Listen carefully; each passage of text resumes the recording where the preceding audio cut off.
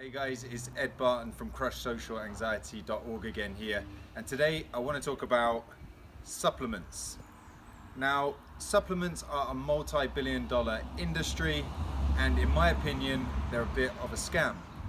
Now, these are all the supplements that I used to take in my, my endless pursuit to overcome social anxiety.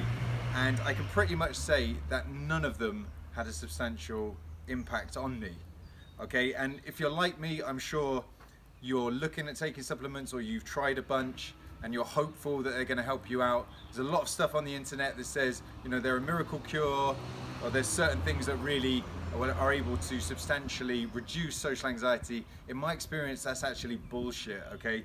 None of that is really true. Um, I've taken ashwagandha um, rosea rhodiola chamomile passion flower all these things valerian root, 5-HTP, all these things, and none of them really move the needle on reducing my social anxiety, okay? So that is my experience. I should caveat that by saying that I do have friends, um, one particular friend who's taken ashwagandha, he said that's really helped reduce his insomnia. My mum, who also has social anxiety disorder, has reported that 5-HTP has helped her. Um, but, you know, generally I have not found them to help at all. One minor exception that I should mention is this here and that's L-theanine and this is a naturally occurring amino acid and I found that if you have one of those tablets when you have a coffee it creates a very kind of focused and quite calm state but that's really more for increasing my productivity um, than reducing social anxiety. And that's that's kind of a very basic nootropic stack. If you're interested in nootropics you can check that out.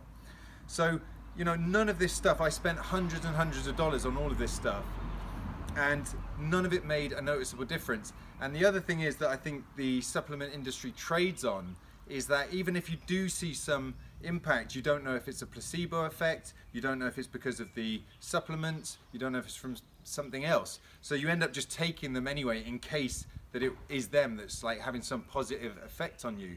But none of this made as much difference to me as getting my diet on point. Uh, daily exercise, you know, made all the difference to me. Um, meditation, CBT, all the things that I talk about in my blog, in my ebook, in my videos, in, in other areas that you can check out. Um, you know, none of this had that same kind of, you know, uh, rewards and gains as any of that stuff.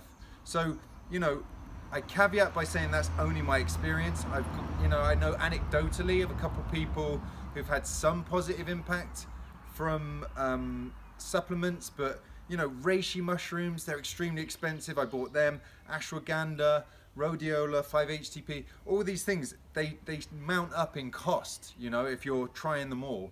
Um, and I didn't get any real payoff. I had to go down other routes, you know.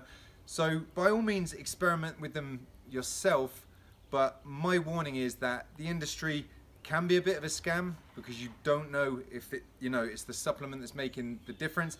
And my total advice would really just to be to skip the supplementation route first and try and get more rewards from getting your sleep routine sorted, trying CBT, getting a regular meditation uh, routine going with yourself and getting to the gym.